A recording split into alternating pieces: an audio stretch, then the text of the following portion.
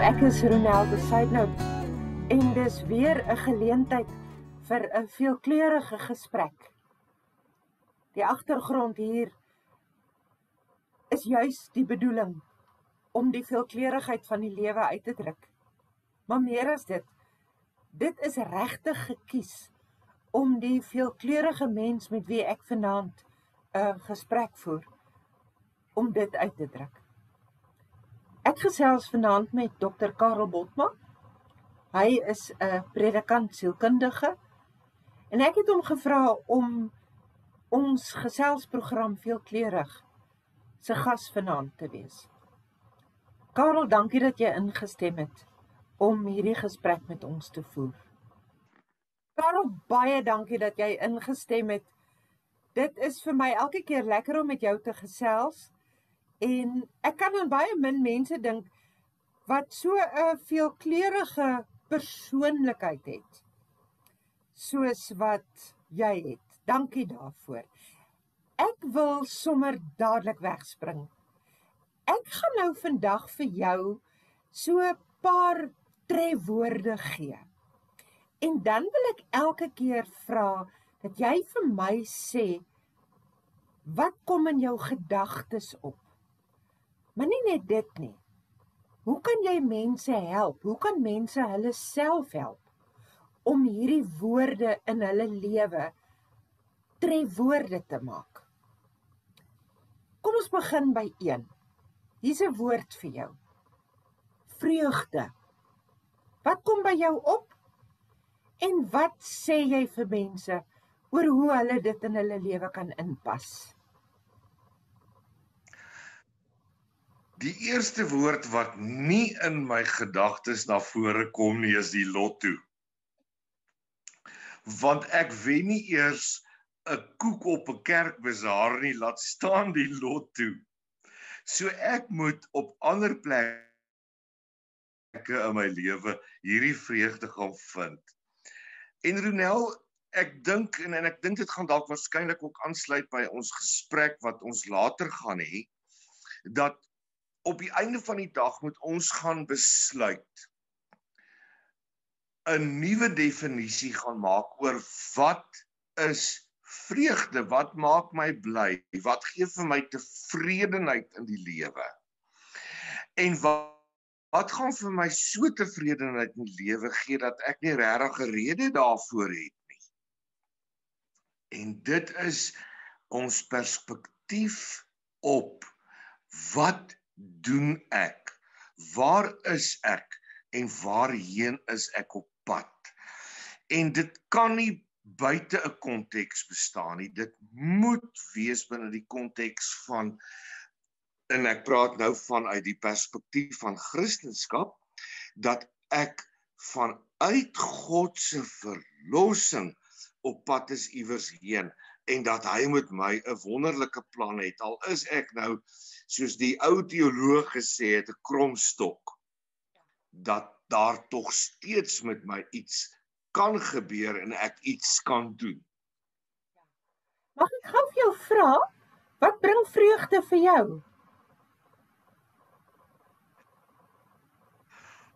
Vreugde is vir my van die mooiste woorde wat daar is. Want vreugde kan ek nie losmaak van hoop nie. Want dit is ek dink die fondasie waarop vreugde staan.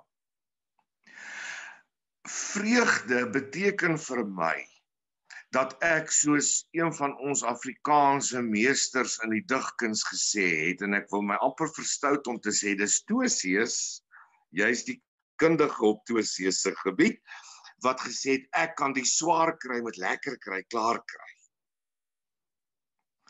En dit beteken op die einde van die dag dat ek as lydende mens, as 'n stresvolle mens, as 'n huilende mens steeds 'n glans van blydskap op my lewe en gesig kan hê want ek is ek is nie die slagoffer van my omstandighede nie.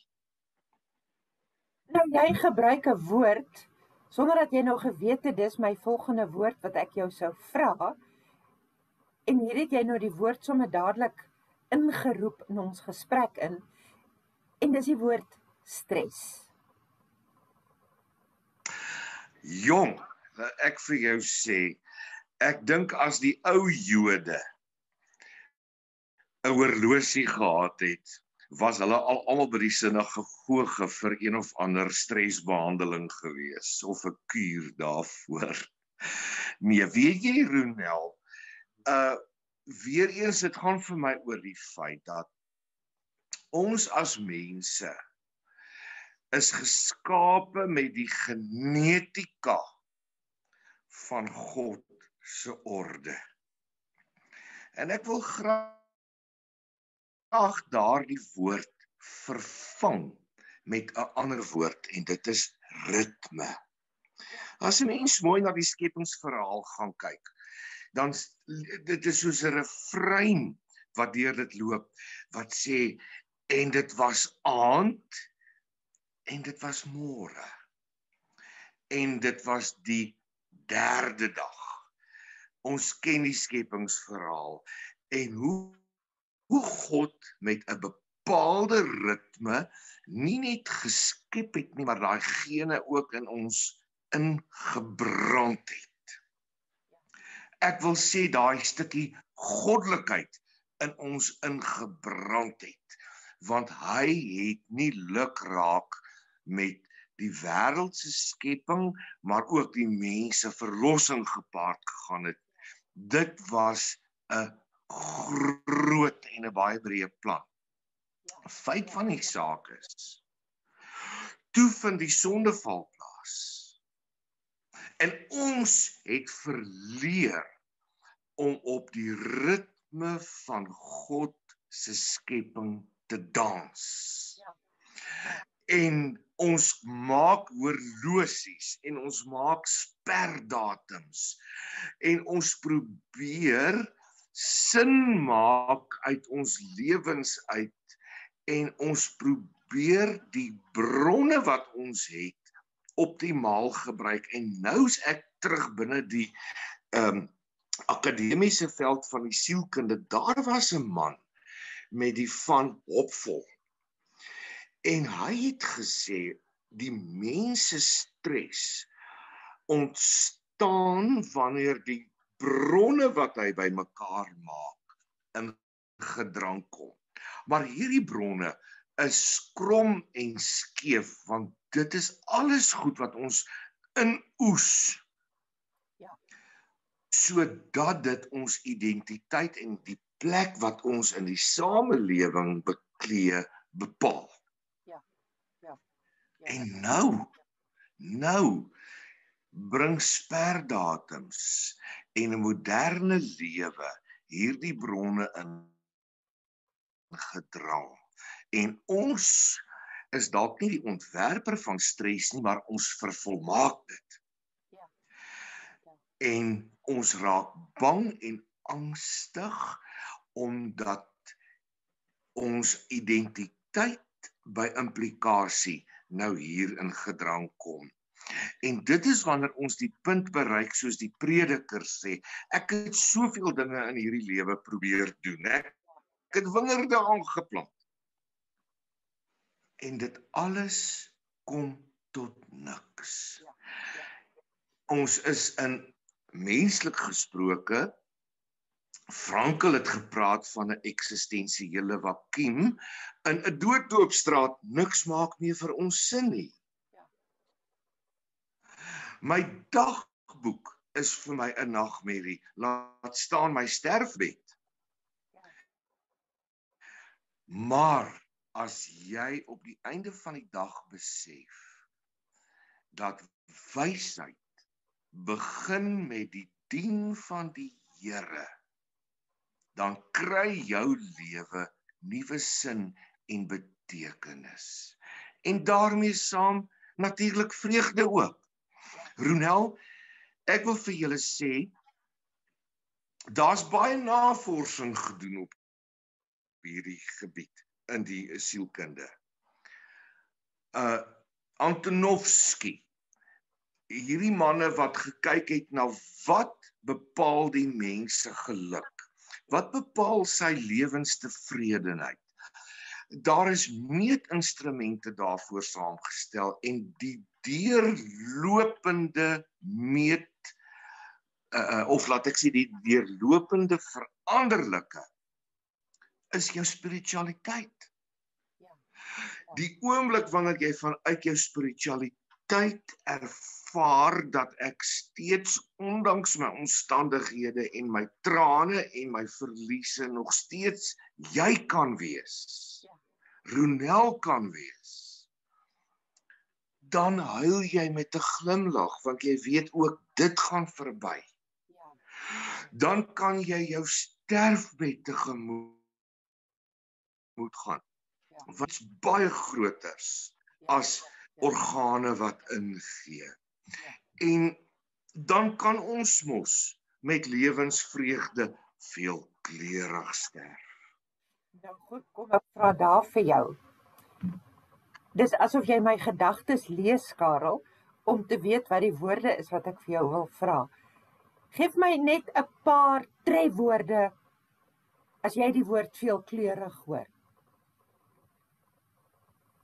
bont, vrolik, lekker. Ronel, wie wat? Ek wil nou met julle ietsie deel. My metafoor vir die lewe is 'n inkleerboek. Ja. Julle onthou mos hoekom ons inkleer in vandag se volwassenes kleer steeds in want ons het nou hierdie lieflike inkleerboeke wat ons kan gebruik. My metafoor is benewens die inkleerboek van die lewe, die feit dat ek verskillende mediums kan gebruik waar ek 'n bladsy kan inkleer. En ek het selfs 'n bladsy waar ek oor die lyne mag inkleer. Maar op die einde van die dag dra hierdie dikke boek of dit nou vetkruit en of dit nou olieverf en of dit nou potlood is by tot die bond verskeidenheid van my lewe. En as ek nou eendag in die ouete huis gaan sit met my kniekombersie oor die bene, dan wil ek deur hierdie inkleerboek blaai en ek wil elke kleur daarvan geniet en sê maar die meetsnoere was vir my 'n lieflike plekke.